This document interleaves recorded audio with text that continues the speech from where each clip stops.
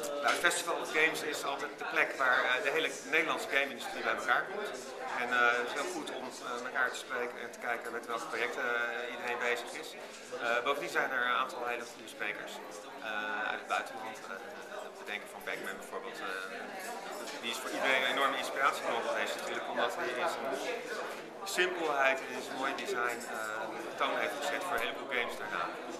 Um, dus ik uh, loop hier vooral rond om. Uh, bovendien is het een goede plek om je spel te presenteren. En dat is wat wij vanmiddag gaan doen. We hebben samen met Hout Prima dus een spel over architectuur gemaakt.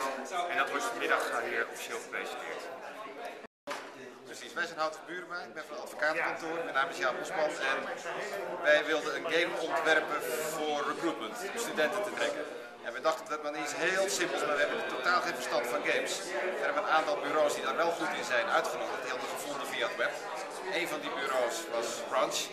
En die overdonderde ons met iets, dat was Shark World, wat echt zes stappen verder ging, honderd stappen verder dan wat we ooit hadden kunnen bedenken. En dat is het begin geweest eigenlijk van de game die we nu gemaakt hebben samen.